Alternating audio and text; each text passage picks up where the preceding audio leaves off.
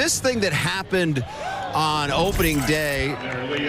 Let's, in fact, you know what? Let's bring up the guy that, rather than me tell the story again, let's bring in the guy that actually did this. This is Luis Cessa. How we doing? All right, now.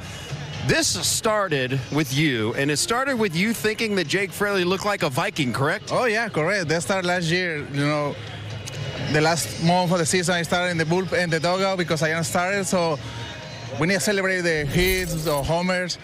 So I just think about it like, okay, Fraley looked like a Viking. So I had a really good relation with, with Fraley. So I just thought, hey, maybe we need to do something like a roll when you had a base or something. And just the, the idea is keep it, keep it going and just save it for this year, like hit the K and the Viking helmet. It was beautiful. It took a lot of people by surprise. In fact, I was asking in the dugout, and some of the coaches were like, I have no idea where that came from. So you kind of snuck it up on people. There it is. Where did you get such an authentic looking helmet and cape? Actually, I buy a couple ones, and the first one is too heavy. It's a metal one. I think it's a heavy and dangerous. So we take the idea like uh, maybe we need a plastic one, like a be more safe for the for the team. Um, I bring for the sprint training guys, and they wear it and they feed it for everybody, and just keep it going. And just you know, they, they, they take that one and just keep it going. And this is going to evolve a little bit, right? When the player goes through with the helmet and the cape, you want the players, the teammates, to row behind them. Oh yeah, that's the idea. Like uh, we stay behind the guy here at home, and we like a row because you know we are a warriors, and I think that's a good key for the team.